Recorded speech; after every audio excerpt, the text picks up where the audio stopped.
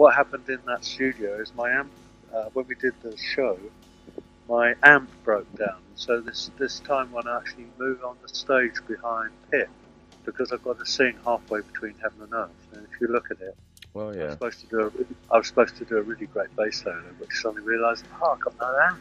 Sound coming out my amp, and my sound was coming out this monitor. Was that the improvised part after I think cauliflower ears? Yeah, the a bass part starts on heaven and earth, doesn't it? Yeah. heaven. So yeah, that's it. And so yeah, no, it actually flowed. It, it stopped doing. And so I thought, shit, I'm going to, um, you know, get get sorted, get go somewhere where I can play and sing. And there's the, there's his announcement right there, and the monitor. Moved like every, they all thought I got mad. Everybody thought I got mad because they didn't realise my hand was broken. Doing the show, so you'd have to stop the show. And so what would happen was that that track wouldn't have been in it. So I thought, oh, fuck this. I'm quite good at doing radio shows and TV shows, and I've done a lot of them, right? And, um, Hatfield and Northampton. I did a lot of shows with, uh, you know, with Camel, a lot of shows with Caravan, and not so many with um, with Hatfield more particular type type of music, which is now included in prog, I suppose, or not quite really. Mm. but it's, we were we were progressive rock, you know. whatever that is. No, I got asked. I, I got asked to go. I, I mean, I was asked back both Caravan and thing because I was the one that was actually in communication with everybody that was going because I was the only one where Mm. that all those people, you know, even the people in the canteen came out. Every time I opened my mouth to sing, there'd be a dozen people from the can- the canteen would come out and all be bobbing up and down, going, "Oh, boy, you have a nice voice." Blah, blah, blah. I heard um I heard Pip said the audience was all wrong. They had they had set it up all wrong for the Hatfield reunion. Uh, well, there wasn't a right. Well, yes, right. I mean, it's Hell's Angels, right? There's about 50 Hell's Angels.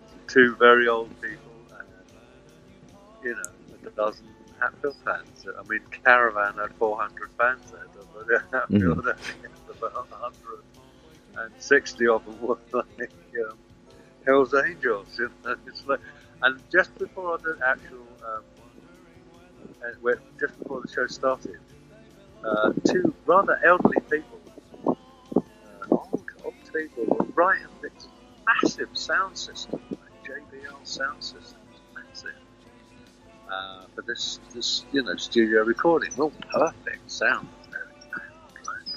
They were right in front of the speakers. Hmm. Uh, and this guy was just about to do the announcement. Apple and North and blah, blah, blah, because then you don't see that on video, right? You just see it all there. It starts with the show.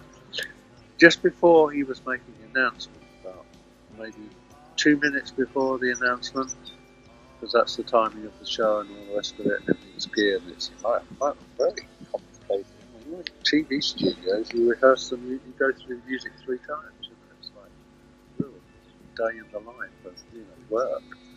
Anyway, the, the two old people were there just in front of the speakers, and I jumped off stage. Right, I was a good night. as tall as me, drop. So I've got to try and get down and go and say, hey, because they won't listen to you. You've got to get out of the way. You're going to be blasted to bits. I said, it's, it's true. And I got back on stage. Everybody thought, I you know, the band, I thought, oh, God, here he goes again. You've done that. But well, no, you know, so fuck's sake. Anyway, all the Hell's Angels were down there helping out with that shit.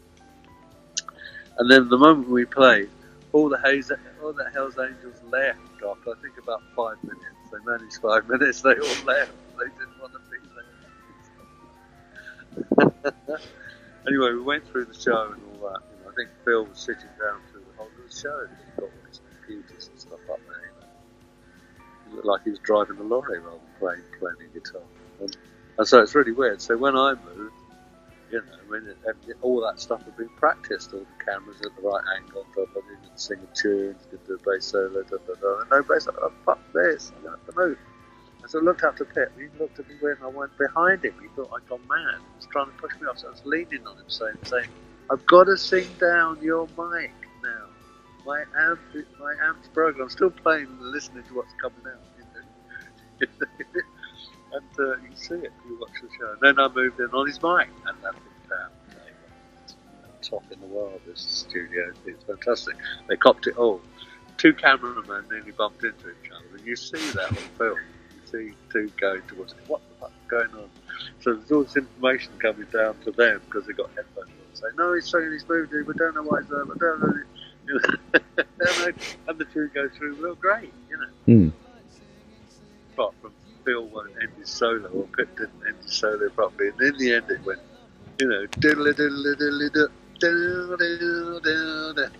The, the, the, you know, in the end, it did that. The ending, and he was, he was getting really pissed off. You see it, you know, his, his solo goes a bit weeny,